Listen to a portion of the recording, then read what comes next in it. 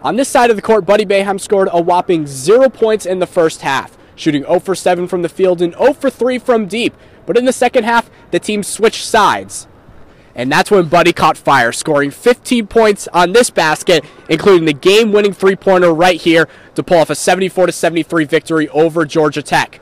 After the game, Buddy talked about how frustrating it is to not be able to hit shots, but what changed in the second half that proved to be a difference maker for the Orange. Yeah, just starting to make shots, taking it one one play at a time, getting to my spots. Uh, I mean, I'm frustrated. I feel like I let my teammates down in the first half. I missed some easy shots that I should have missed, but uh, I just let them know I'm going to get going eventually, and they, they believe in me. They kept you know, working for me in the right spots. When you shoot that poorly for us, to still be able to win the game, um, it's a lot of guts, a lot of determination, and I'm really proud of them the way they've made those last couple stops. We're ready to go. I mean, we're excited. I think at this point of the season, you'd rather play than practice anyway. So uh, we're looking forward to this stretch. It'll be fun. You know, we're going to try to try to get some wins and you know try to keep this thing rolling here.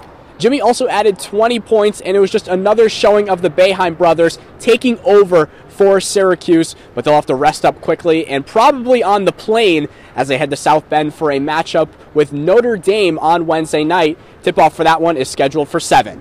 Reporting inside the dome, Nick Zelaya, Citrus TV.